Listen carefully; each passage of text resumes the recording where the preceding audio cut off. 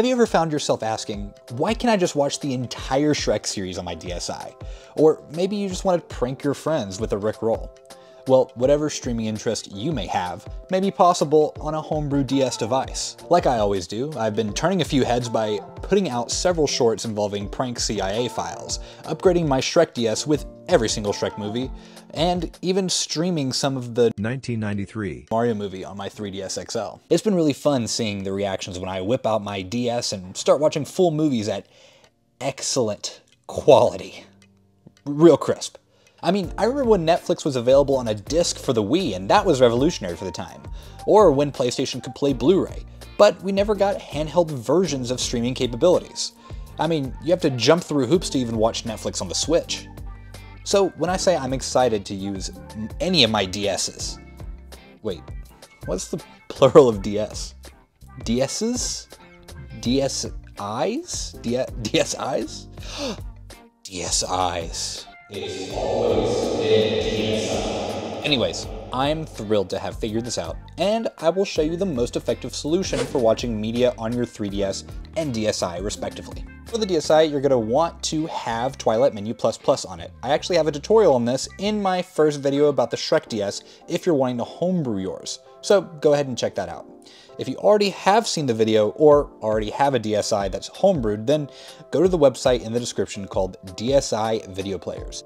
This is a direct link to several different DSi video players for the DSi homebrewing. However, I do have to warn you, I have tried every single one, and the only one that's worked for me is Fast Video DS. It is also the easiest. Start with downloading the .NET runtime from the link on the site. Then download the zipped Fast Video DS encoder file. Extract it, to your computer in its own folder. Then download the BAT file and drag it into the Fast Video DS folder.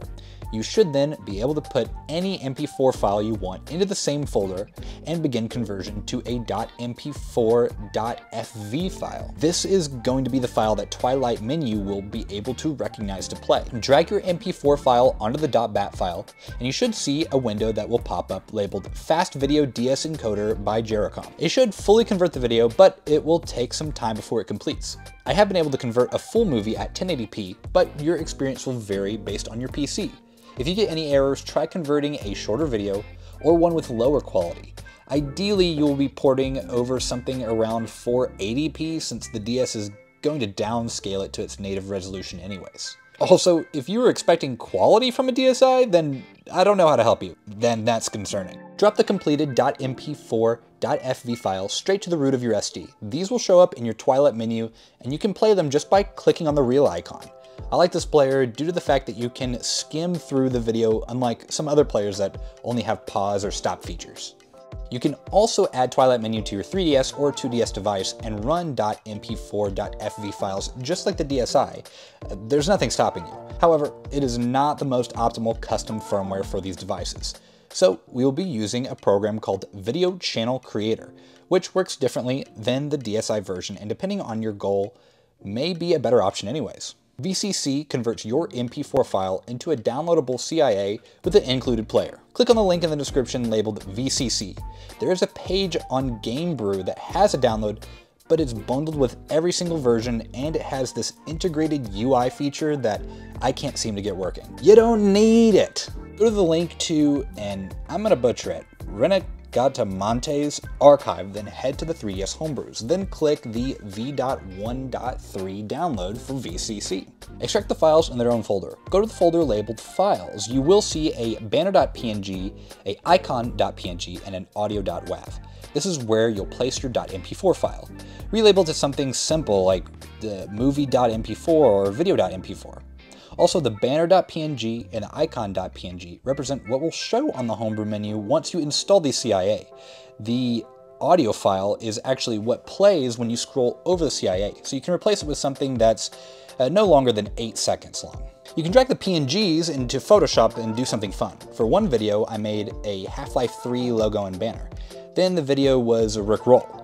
In one of my more recent videos, I put a certain 1993 Mario movie with this logo and face for the art. This takes the mock.cia to a new level. I was even able to pull off a somewhat convincing video that made it look like I put Five Nights at Freddy's Security Breach on my 2DS. However, you will see visibly uh, a player at the bottom when loading the video. When you are ready, run the build underscore full.bat and you will be greeted with the following options. Convert a 3D video? Type 2 for no. Most likely, you will not be converting a 3D video. It is an option, however. Then it will say video name. This is where you will enter your MP4 name. That's why it helps to keep it simple. Then type your video frame rate. Then it will ask what quality you would like to render the video out as. This is all preference, but the higher the quality, the more processing power it will require to convert, in addition to the file size. Answer a range between 1 and 32, with 1 being the highest quality and 32 being the lowest quality. Then it will ask if you want to apply extra compression. Answer yes if you are still worried about processing power and or file size. Then we'll ask you for a unique CIA ID. You just need to type in a number and letter combo that's six characters long. So ABC, AB1, for example. It doesn't really matter. Then we'll ask the title. I assume this is the title for the CIA, but for some reason it overrides with a JPEG V for both title and author when I do it. This may work for you, but I don't know, just put something like Mario and Nintendo. Once you hit enter, it will start converting and you will see a file when it's done called my underscore video.cia. You can rename it to whatever you would like. Then drag it into your CIA files and install with FBI. Simple as that. And there you have it, two different ways to watch your own media on the DSi and 3DS. Alternatively, there is a 3DS homebrew app available called ThirdTube, which allows you to connect to a current working version of YouTube. Just download and launch that one and you're all set. I also hear it doesn't have any ads. So do with that information what you will. Let me know if you need help with any other homebrew apps, and I should be able to put out a handy guide for them. I hope you've all been enjoying my guides here, as it's my goal to make homebrewing accessible to a wider audience. I've also noticed that 98% of the viewers out there aren't subscribed.